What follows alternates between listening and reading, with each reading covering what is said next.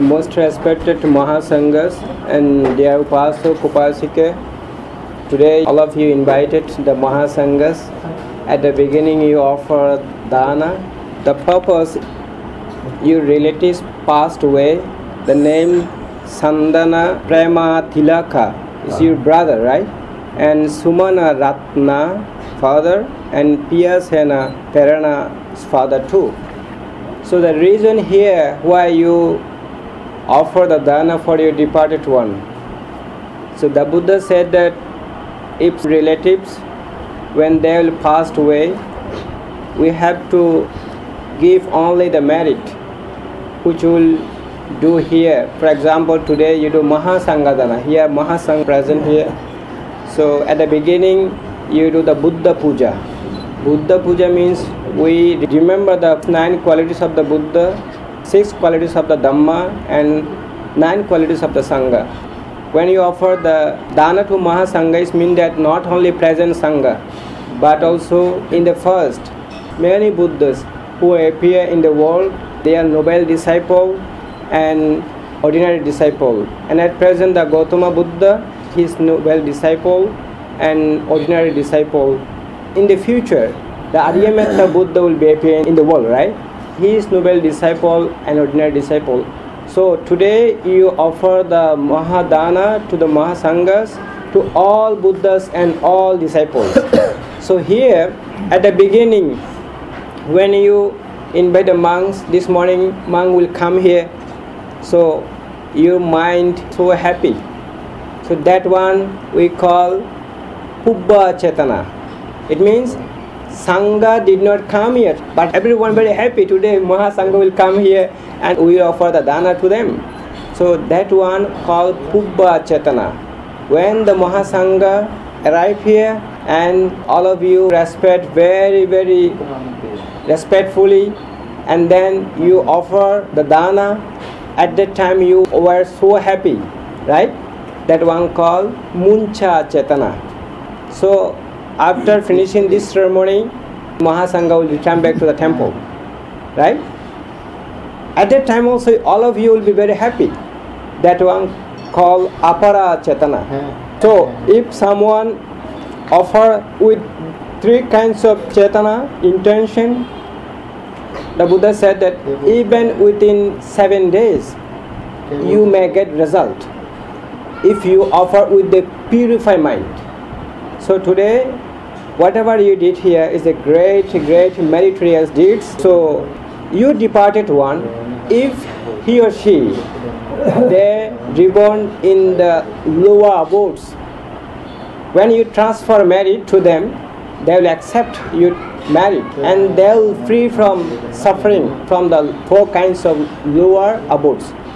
That is why buddha said that we can give only the merit to the departed one nothing else. I can tell you the one small story during the buddha's time happened. When the buddha practiced meditation he was thinking that today who will get the benefit from me? Then he used his psychic power and then he saw that one lady her name is kumari. The buddha saw that if i go this way kumari will come that way. Then i will ask four questions from her only she can answer the four questions. But normal people will not understand. So first buddha asks oh kumari from where are you coming? Then kumari said that bante i don't know. And second question where will you go? Then kumari said bante i don't know. And third question do you really not know? Then kumari said i know bante and the last questions do you really know? Then she said i don't know. Do you understand these four questions? First buddha said from where are you coming? Everybody know she's coming from the home. And where will you go? Normal people know she'll go to her father.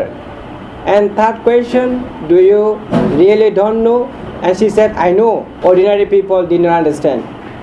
Only she understood and then third one do you really know then she said i don't know so here the answer first question is from where are you coming buddha said to kumari hey kumari please try to answer these four questions so that all normal people can understand. Gautama Buddha, your question is so deep. First, you ask me, from where are you coming? It means that from whose plane, from whose bhumi I came, I born in this world. That is why I say I don't know. And second question, when I die here, where I will reborn? That's why I said I don't know. And third question, do you really not know? Then I said, Bante, I know. It means that one time I will die. That one I know. And the last one, do you really know? Then I said, I don't know. When I will die? Which moment I will die? I don't know. When Kumari explained like that, all normal people understood very clearly. Similarly, you departed one Piyasena and Sumana Ratna and Chandana who passed away. We don't know where they're reborn. So Buddha said that only we can transfer the merit. If they really need, they can accept our merit and they can free from lower abodes, the apaya, and they can reborn, whether in the human world or in the heaven. One way you did the great meritorious deeds, it will be beneficial for you. And second, it also will be beneficial for your departed one. That is why we have to practice the dana. One way we are fulfilling the parami, dana parami. And second, if we observe the sila, we can reduce our hatred, we can purify our mind. And third, if we practice meditation, we can reduce our ignorance. So, dear friends in the Dhamma, I will not talk the longer.